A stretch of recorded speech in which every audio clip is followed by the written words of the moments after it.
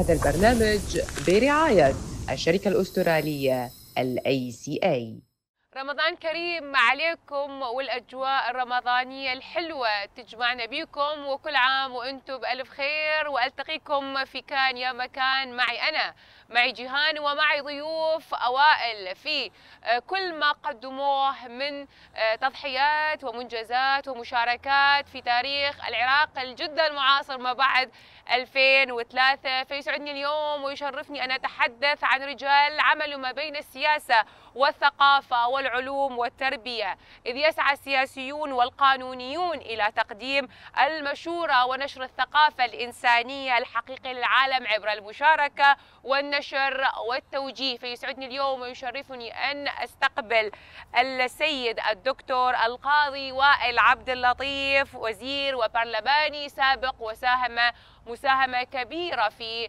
كتابة الدستور بعد عام 2003 وكان له صولات وجولات في العمل التنفيذي والتشريعي على مدى كل هذه السنوات فأرحب أجمل ترحيب بالدكتور وائل عبد اللطيف. يا أهلا ومرحبا بك. ورمضان كريم وكل عام وأنت بألف خير. أهلا وسهلا. رمضان مبارك علينا وعلى أبناء الشعب العراقي. والتحية للأستاذ حسنين وكادر ومشاهدي قناة سامراء. أهلا وسهلا. أهلا وسهلا. وأيضا يسعدني ويشرفني أن أستضيف رجل عمل ما بين التربية والتثقيف وبين نشر الثقافة الاجتماعية على مدى سنوات طويلة فكان له صولات وجولات عالمية وأوروبية من خلال مشاركته ووجوده في كعضو في المجلس التنفيذي للمنظمة العربية للتربية والثقافة والعلوم أليكسو وكثير من المنظمات أيضا الإسلامية المعنية بهذا القطاع. وكان وكيل سابق في وزارة التربية ومدير عام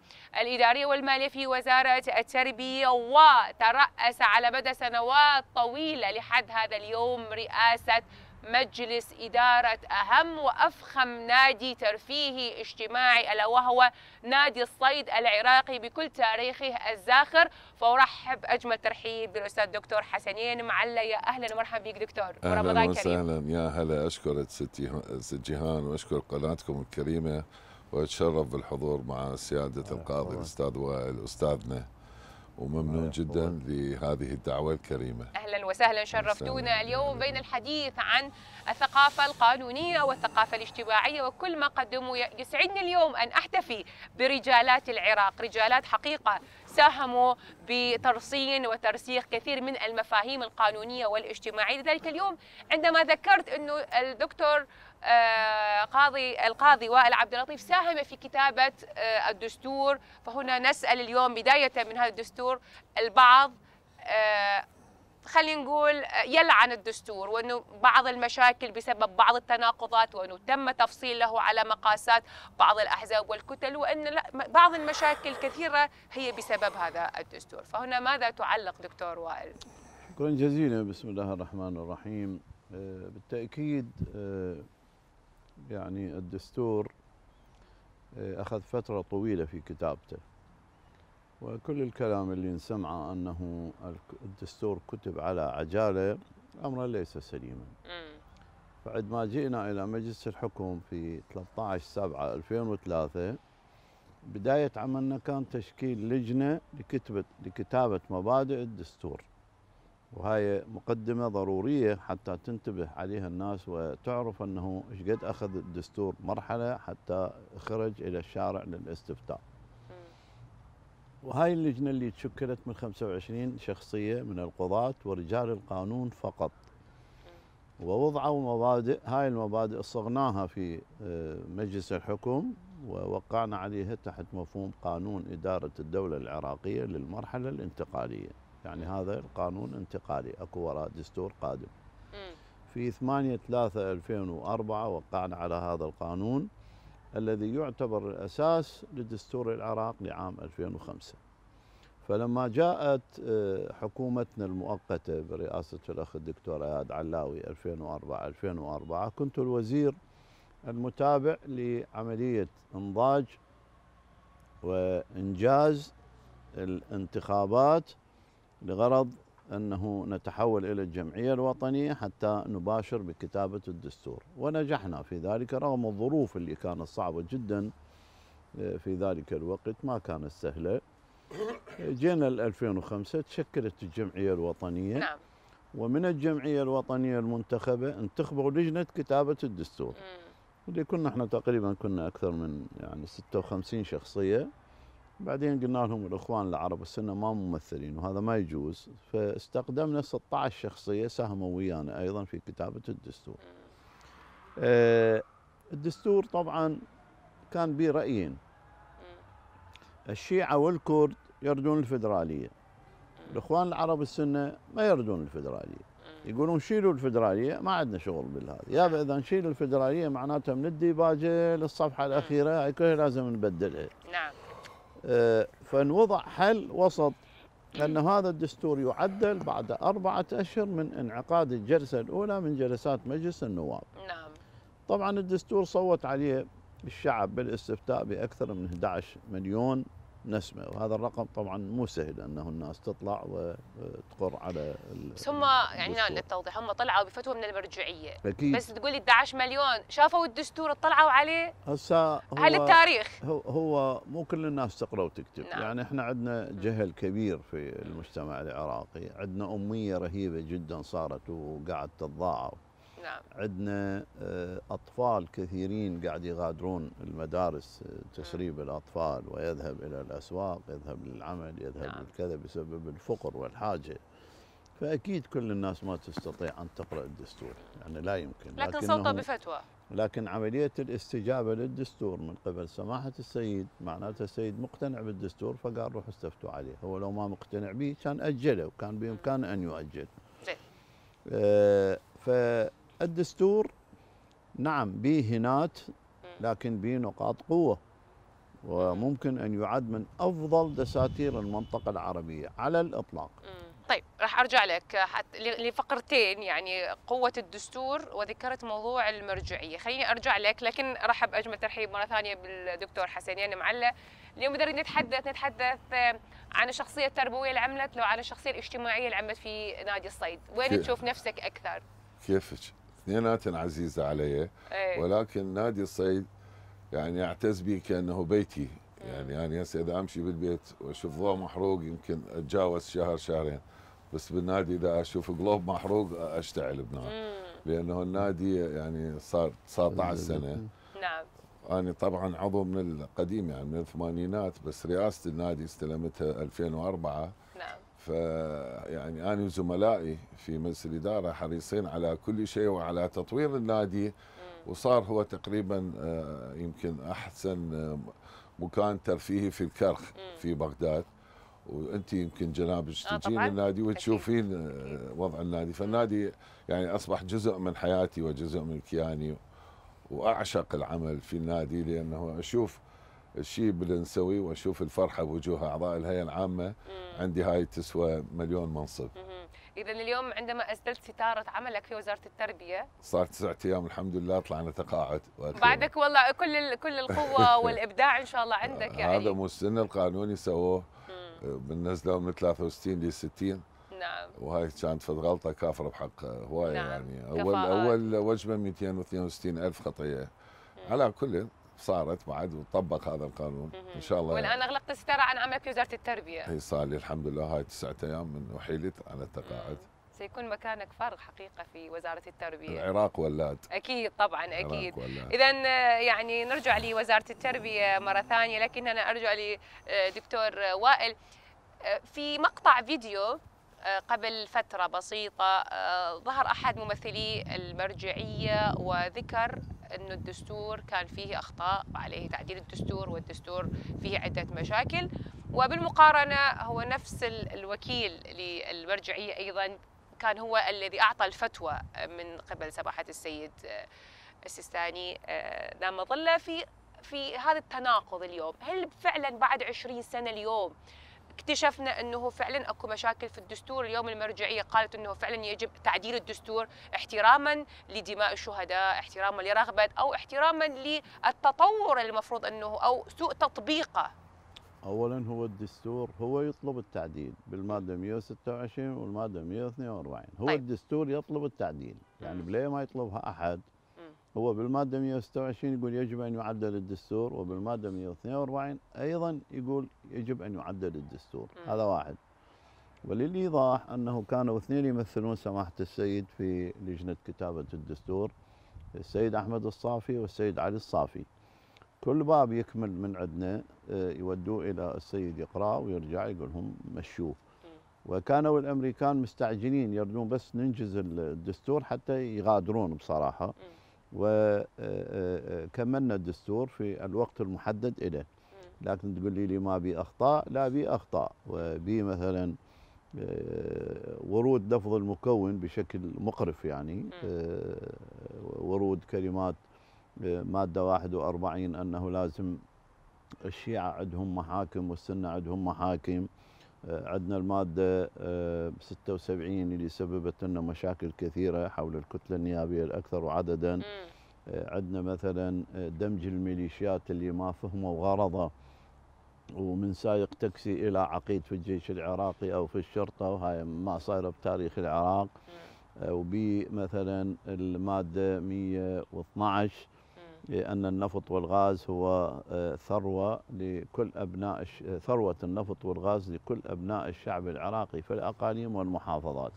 هاي مادة 111 لما نجي المادة 112 بها خطأ أنه لل- للحقول المكتشفة. شنو الحقول المكتشفة؟ يعني هو البلد يكتشف حقل يباشر بالإستخراج. يذهب إلى حقل ثاني ثالث رابع كذا. ولا إحنا شلون وصلنا إلى 4 مليون آه، برميل ينتج بي أيضا آه، فيما يتعلق بالصلاحيات الممنوحة الحقول المكتشفه للشعب والحقول الغير مكتشفة لمن؟ غير مكتشفة هي كلها لكل الشعب العراقي هو كل النفط للشعب العراقي إيه ما ما ما بها ليش محدد مكتشفه وغير مكتشفه؟ الخطأ هذا اللي ورد من قبل اللجنة هو آه. إحنا قسمناها لجان أنا كنت على اللجنة ال- ال- لجنة الباب الثاني. باب الحقوق والحريات العامة ويمكن بأسبوع كتبته وانتهينا من عنده مم. ويعد هو من أفضل آه، الأبواب في الدستور العراقي. مم. البقية ال- وزعوهن هم محاصصة وبالتالي وردت بهم أخطاء. الخطأ الآخر هو ما يميز ما بين الصلاحيات للحكومة الاتحادية مم. والأقاليم والمحافظات. نعم. ال- الخطأ الآخر اللي ارتكبوه هو إضافة بعض المواد إلى الدستور. إحنا أنهينا الدستور بالمادة 139 تفاجئنا بالنشر لقينا 144 يعني ضافوا 140 141 42 43 و44 هي الخلافيه وبيهن مو خلافيات بيهن آه، لمسة كردية مسحة مم. كردية بيها. آه، بالتالي هاي المادة 142 منو آه، ضافها دكتور للتاريخ يعني؟ ما ندري ما ندري. ما نعرف. إحنا انهينا الدستور وسلمناه. وانتهينا. لكن طبعت المجلدات الأربعة للجنة كتابة الدستور من تعثرين عليها أو تقرينها تجدين أن الدستور انتهى بالمادة 139 مم. هاي المواد هي ممكن واحد يطعن بيها بهذه الخمس مواد مو هو أنت تحتكمين إلى الوقائع العراقية الجريدة الرسمية وليست هذه المحاضر، الجريدة نعم. الرسمية بها 144 مادة وليست 139 مادة، بس هذا الإيضاح يعني لأبناء واضح. الشعب العراقي أنه ما قدرنا نعدل لأن وجود المادة 142 المضافة، شو تقول الماده 142؟ مم. آه، يتش- تتشكل اللجنه من أعضاء مجلس النواب. إذا رفضت أغلبية الثلثين في ثلاث محافظات ما يمشي. بينما ال 126 مو بالضرورة يجون أعضاء من مجلس النواب، يعني يجب أن تتشكل من عمداء كليات، من مم. أساتذة في القانون الدستوري، من نقابة المحامين، من نعم. اتحاد الحقوقيين، نعم. من المنظمات المجتمع المدني، وما بها إذا رفضت أغلبية الثلثين في ثلاث محافظات ما يمضي أيضا، مم. ولهذا المادة سمحة سهلة وكان ممكن ان يلجؤوا لها، ولكن المحكمة الاتحادية أيضا أوصت بتطبيق المادة 142 اولا مم. فإن فشلتم فاذهبوا إلى المادة 126 مم. هم إيش سووا؟